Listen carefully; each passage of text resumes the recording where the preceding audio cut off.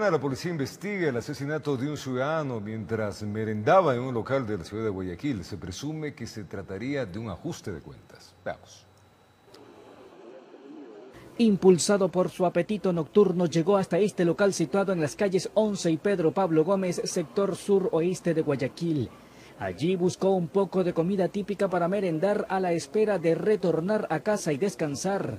Sin embargo, el destino ya le tenía un revés inesperado. Y así fue como a bordo de una motocicleta vieron llegar a un sujeto encargado de acabar con sus planes. Eh, un sujeto ingresa al restaurante, el mismo que se había bajado segundos antes de una motocicleta de color blanca y ingresa directamente eh, y atenta contra la, contra la humanidad del ciudadano de 29 años. El autor del suceso disparó sin control, ocho veces presionó el gatillo en busca de acabar definitivamente con la vida de esta persona. Una de esas balas generó afectaciones a una mujer de 40 años, quien presta colaboración en la cocina de este restaurante. Las dos personas fueron trasladadas hasta una casa de salud ella recibió una limpieza superficial y no pasó a mayores, pero el joven de 29 años lamentablemente agotó sus esfuerzos por sobrevivir y la muerte lo cubrió. Eh, se habían escuchado ocho detonaciones y aparentemente de las ocho, pues siete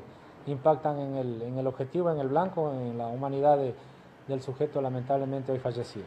Tras este nuevo crimen giran las hipótesis que lo relacionan con posibles ajustes de cuentas, basado en un historial delictivo que reposa en manos policiales. Dos de ellos por eh, tráfico de sustancias estupefacientes y psicotróficas, un antecedente por hurto y el otro muy reciente, por cierto, del año 2020 por asesinato.